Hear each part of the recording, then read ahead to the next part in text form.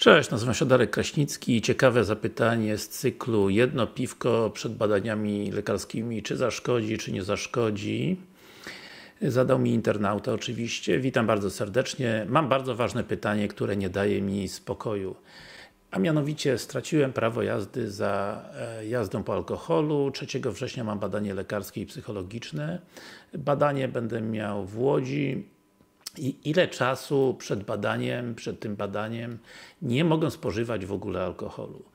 Pytam dlatego, ponieważ lubię wieczorem przed telewizorem takowe to piwko wypić, a nie chcę, aby to wieczorne piwko skomplikowało mi jeszcze bardziej życie.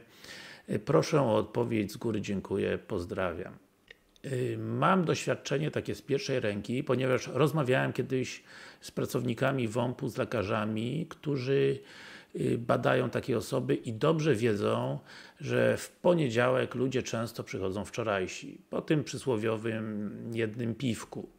I niestety równie często ci ludzie nie przechodzą badań lekarskich i psychologicznych.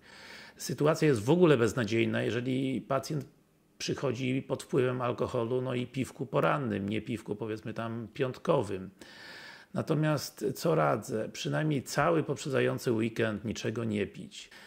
Ta moja porada i tak nie wyklucza jakichś problemów z przejściem tych badań, ponieważ u osób tak pijących dość regularnie często stwierdza się problemy z wątrobą, które wychodzą przy różnych tam próbach wątrobowych, no lub problemy z gospodarką cukrową, często to są jakieś y, początki cukrzycy. Także nie mówię o tym, że y, czasami i próby równowagi nie wychodzą za bardzo, no i na stereometrze czy na jakiejś innej aparaturze y, psychologicznej czasy reakcji są pogorszone. No ale cóż, mm, najlepiej nie pić w ogóle, prawda? Jeżeli y, masz coś ciekawego do powiedzenia, oczywiście koniecznie skomentuj to wideo.